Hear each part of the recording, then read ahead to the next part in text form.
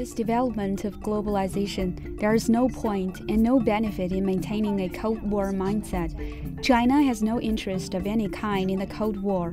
Meanwhile, China has no intention of acting in a so called Hollywood blockbuster directed by the US military. But China is not afraid of action if our sovereignty and security are threatened or damaged.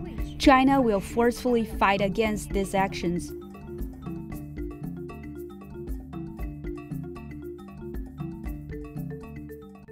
And a model like that is out of step with where the region wants to go.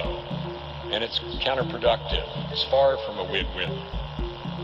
The result is that China's actions could erect a great wall of self-isolation. A model like that is out of step with where the region wants to go. And it's counterproductive. It's far from win.